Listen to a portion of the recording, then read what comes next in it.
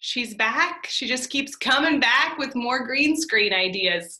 I'm sorry, but I have more ideas I want to share. Okay, this one, um, I found a photo of um, a house layout, uh, bedroom, laundry room, living room, dining room, kitchen, study, bathroom, attic. So I have been using Boy and Girl um, and putting them in different locations and working on who and where questions. So how I've been starting it is um, I would say, this is the girl and she wants to hide from her brother. She is going to hide in the, where should she hide? Okay, the bedroom. Okay, she's going to hide in the bedroom. And then I hide her. So she goes away. Where was she hiding again? Oh, yeah, the bedroom. Okay, the brother's gonna come and look for her. Sister, where are you?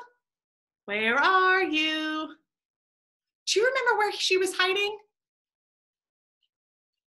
Where? I hear you saying there. Where is there? The bedroom. Tell him she is in the bedroom. She is in the bedroom. Okay, I'll go to the bedroom. Sister, are you here? I found you. How'd you find me? My friend told me where you were hiding. And I, I could go on like this. I guess I could play by myself all day. I don't know if this is a skill set or not, but I could.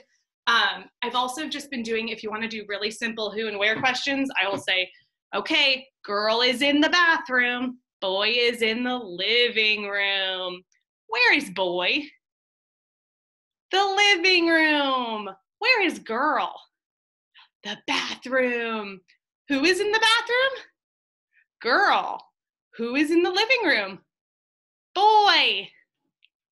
Simple, but I don't know if this helps anyone. I don't know if this activity is even useful, but I have found a lot of use with this.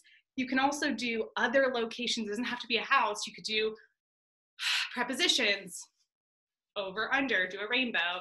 Who's under the rainbow? Where is she? Over the rainbow, under the rainbow. I don't know, guys. I can't stop. See you later.